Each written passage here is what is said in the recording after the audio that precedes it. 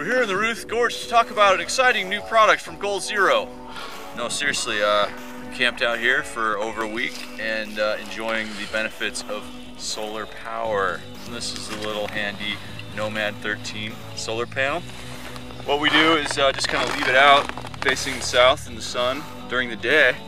Charges our friend the Sherpa 50 and when we come home at night after shooting great photos, amazing skinning through beautiful places, uh, we've got a full recharge. So it's got a built-in inverter. Just flip that to on and plug in so you can charge your cameras, uh, radios, everything. And then also has a USB, handy little flashlight. And then uh, also been charging the laptop so we can uh, back up our footage.